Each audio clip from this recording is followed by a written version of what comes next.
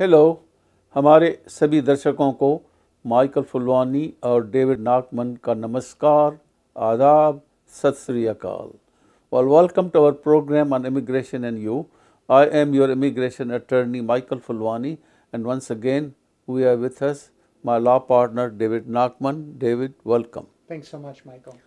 So let us start our today's program. Actually before we start today's program we just want to talk uh, a little bit about what has been happening to the tragedy in Nepal. You want to say a few words about that? Sure. Uh, as everyone knows, um, I think everyone knows that uh, the uh, the country of Nepal was uh, struck by a devastating earthquake. It was a 7.5 on the Richter scale, which um, is really a uh, is a huge earthquake. And uh, thousands, uh, hundreds of thousands of individuals have been uh, displaced, uh, property damage, and of course, uh, tremendous damage to human life. At last count, I believe it was about 3,000, and of course, it's still climbing. Um, as a firm, of course, we're doing everything that we can to support the relief efforts there. Uh, we're um, uh, working to try to help individuals who are there. We've actually received several emails from individuals who are located there, and we're monitoring closely the bills that are being introduced in Congress. Actually, there have been two bills that were recently introduced in Congress, Yeah. uh, one of which hopefully will be able to grant uh, a form of TPS, uh, temporary protected status, to individuals from Nepal to allow them to stay in the United States and to get work authorization uh, so that um, you know they are uh, not having to go back to the uh, country, of course, of course, which was recently devastated. So.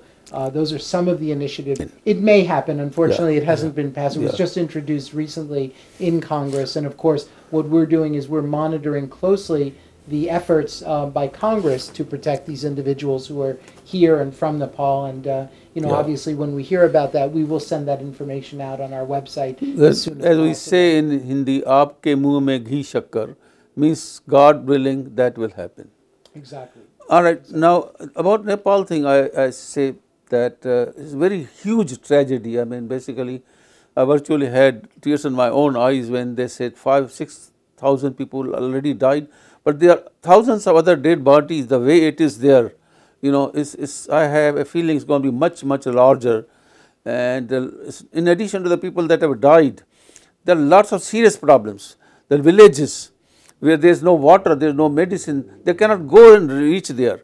So God knows. I mean, everybody is there helping there, but it's a mountain. uh, You know, you know the Himalayas foot, and basically. Access is So- limited. And so I join you in appealing the people. Please be generous. Please do whatever you can do, and uh, we all put together will be able to do something that help them in, in whichever way we can. Yeah, I think that uh, it's really important for us just to point out to our viewers that it really hits home closest for us because we have individuals in our offices who are from Nepal. And what we've done is we've actually put together a website where if you're interested in making a donation, please feel free to just go to the website and uh, be generous, make a donation. Those funds will feed into the other funds which are going to Nepal for, uh, like Michael said, for uh, clean water, for food, and hopefully to uh, help the individuals who um, you know are still actually uh, you know and, and we receive emails from individuals who are in Nepal who are sleeping outside and they're telling us on a day-to-day basis about their situations they're sleeping outside because they're afraid of the aftershocks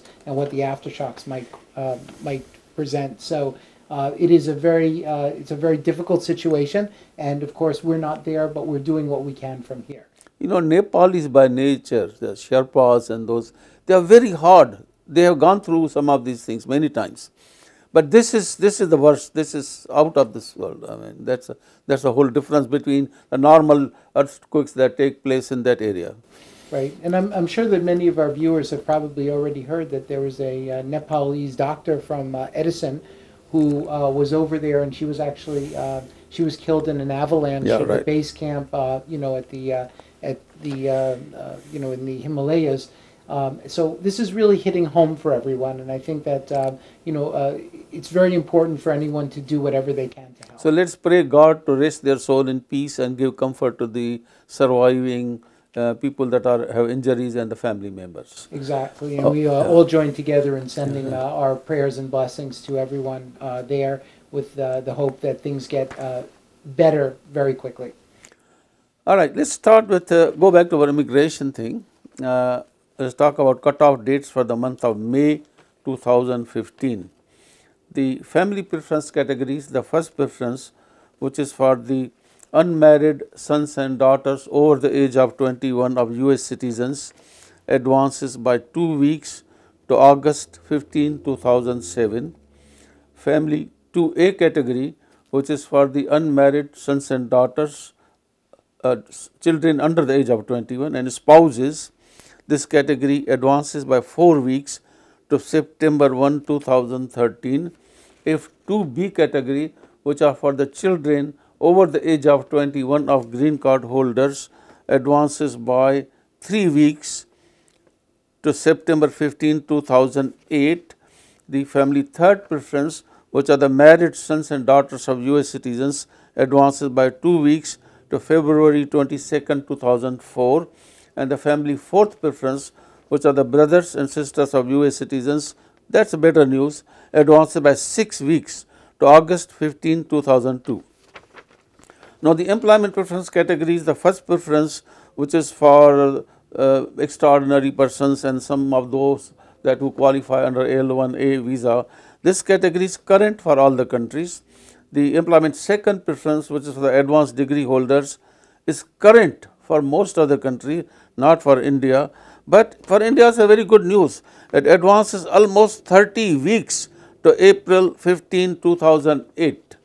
The employment third preference which are for the skilled workers or persons with college degrees uh, and professionals, it advances by only one week for India to January 15, 2004. The bad news, this, this category probably you are waiting, if nothing happens in the Congress, you are looking at 20 years, maybe 25 years, I figured that out. But it is very good for the world though, that is a wonderful thing. It advances by 12 weeks January 1, 2015.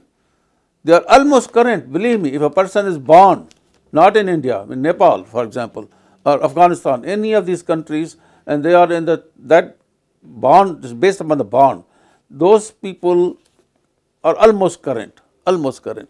Now, not only that, as we have talked many times, the rule of cross chargeability is that let us say you are born in India and you are sitting there here maybe for another 25 years but your wife was born in one of those countries that we mentioned, then they can take the place of, in other words, they can get the quota, the visa number from the country of birth of the spouse. So, that is one thing, large I mean, basically uh, something comes on all the time when the client says, uh, uh, I am going dating married, I have already applied now, I am waiting in third preference, going to take 12 years, 10 years, 15 years, and now I plan to get married also. And I say, listen, marriage is for life, so I am not telling to get married uh, based upon the country of birth, but it is not a bad idea that if you find a good girl born in a different country, immediately we can request for the uh, cross chargeability and get the case complete. You can get your green card within the next 3 4 months. It's already 485 pending, right? Exactly. So that's interesting twist. See, these are some of the twists that we, we bring to the people and some people say, really? I say, of course, really. Uh, all right. Now, the fourth preference, which are for the special immigrants and religious workers, is current for all the countries. And the fifth preference uh, is for the investors of a million or half a million dollars. That is also current for all the countries. Exactly. And uh, recently, I believe that we reported uh, on our website, which again you should uh, take an opportunity to review at uh, www.visaserve.com. VisaServe being with an E, it's one word. Um, we discussed uh, what Charlie Oppenheimer predicted in these mm-hmm. various mm-hmm. classifications, and while some of them will slow down, there were other predictions about things speeding up. Unfortunately. Um, we're, to, we're looking at retrogression for the Philippines in the EB3 classification. We also are looking at potential um, uh, retrogression, uh, which means that the dates move back for Chinese in the EB5. So uh, these, unfortunately, are some of the things that we're also dealing with. But I think that Michael at least highlighted some of the good news that we saw. And again, right. I, I, can't. I, would like to just echo what Michael is saying about cross chargeability. It's so important that you bring to the attention of a, you know, a qualified immigration professional if you are getting married to an individual uh, from another country because then that allows you to be able to take advantage of the better priority date. So, Okay. Another topic of importance to our viewers is DACA and the DAPA that we have been talking about, and we have been talking about the court case that uh, is still pending in appeal now. You want to give some information, and we can some make some comments on information on what's happening Sure. in the litigation. Yeah, absolutely. Well, Michael and I were chatting before the uh, before the uh, cameras started rolling, and we were talking a little bit about you know what's going on with the.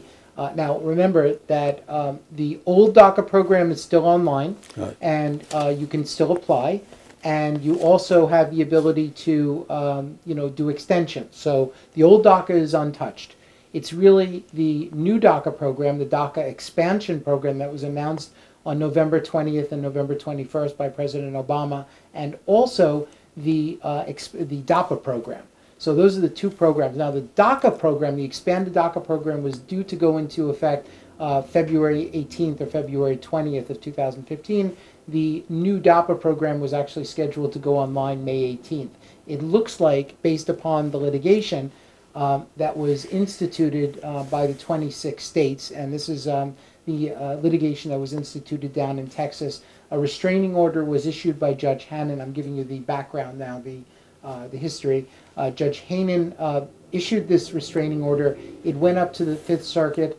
Um, the Fifth Circuit had heard oral arguments about two and a half weeks ago, and they now are deferring another set of oral arguments we just recently heard until July. So unfortunately, the restraints are not, at least as far as we know, Yeah. unless something miraculous happens, uh, the restraints are not going to be dissolved. So it, what it certainly means is that the new DACA program, uh, which is the expanded DACA program that sweeps in a lot more people, and the DAPA program, which was scheduled to go online May 18th, are going to be deferred. How long they're going to be deferred is really anyone's guess. It all depends upon what I guess the outcome is going to My- be. my I- feeling is, Okay. David, tell me your feeling because I'm going to tell It's going to go to Supreme Court. Basically, no matter who wins, these these people are Democrats and Republicans. The way they are going is is no compromises. You know about this new thing also, H4 EADs. We talked about that. That H4 spouses can apply for EAD. There's a court case on that. They they filed a case. Right, so, so maybe we should just let our viewers Yeah. know exactly what happened there. Yeah. Is that, um, as everyone knows, the H4 visa classification, uh, individuals who are at a certain point in their H4 uh, Yeah. are allowed to apply for work authorization, and that's going to be effective May 26th. And what they've done is that individuals who feel that they've been displaced, it's actually a group of IT professionals from the United States who feel that they've been displaced, have filed a restraining order, and we're going to see what happens with that. But there's a possibility that that rule may also be restrained. So what is we'll happening what happens. basically, the spouses of H1, a lot of them I know are uh, IT, IT people and they are as qualified as their husbands or spouses. And it's easy for uh, a H1 guy to tell the company, you know, by the way, my wife is also now permitted to work, uh, do we have opening? So basically, they, they, they are able to then get the job quickly and faster. But I still don't agree that the American workers think that they are taking the job away. Whether they are coming working on H1, they are working on H4. No employer is going to hire unless the person feels. Employer feels that this person is going to be more fruitful. Is going to more. They never give away money to about 50, 60,000, 70,000 as a, for no reason. So behind this argument that these H4 EADs are going to take away the job of American workers, in my opinion, is absurd. But we got to wait to see what happens. I think we are running out of the time. And I think we are running out of time, but I just want to leave you with one last thought. It's, I think it's fortuitous that they are delaying these oral arguments until July. I think it's very interesting because as you probably know, Mike, it's you, Yeah. very difficult to find a judge Right. in the summer because they're all out doing other things. So it's, I think it's very interesting that they're going to have this oral argument in July, and what that will mean is that a decision probably will be quickly forthcoming after that determination, and then who's going to be able to challenge.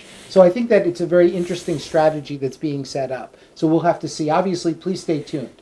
Inshallah, we will win. Thank you very much for watching the program. Thank you, David. Thank you, and uh, please keep watching us every Saturday and Sunday at 11:40 a.m. Thank you very much and goodbye. Bye for now.